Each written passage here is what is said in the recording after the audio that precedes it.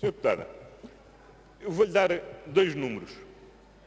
Primeiro número, as receitas para a Segurança Social só neste mês de janeiro subiram 7%, muito acima do crescimento da economia. Fruto quê? Do crescimento do emprego e do crescimento do salário. Quando os portugueses têm que trabalhar mais cinco dias, não.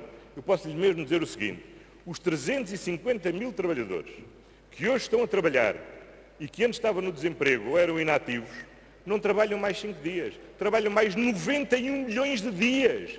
É isso que nós estamos a ter na nossa economia, precisamente. Mais 91 milhões de dias a trabalhar, que corresponde às pessoas que estando no desemprego passaram a trabalhar.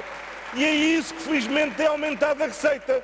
A senhora deputada, como para si o desemprego nunca foi uma prioridade, nem é uma prioridade, porque a sua prioridade é a tributação, de, é a tributação das pessoas de mais altos rendimentos, é-lhe indiferente este resultado da política económica. Agora há uma coisa que eu lhe garanto, cada um destes 350 mil pessoas, cada uma destas 350 mil pessoas que hoje tem emprego e que antes estava no desemprego, garanto-lhe que prefere pagar para a segurança social, ter um emprego, ter esperança no, no seu futuro, ter rendimentos para sustentar a sua família, para educar os seus filhos, do que estar no desemprego e não estar a pagar contribuições para a Segurança Social. Vai-lhes perguntar se preferem não pagar a contribuição para a Segurança Social ou terem emprego. Garanto-lhe que lhe dizem que querem ter emprego, querem trabalhar, querem se realizar e querem dar sustento à sua família. Isto é que é o resultado e é isso que explica esse aumento da carga fiscal, Sr. Deputado.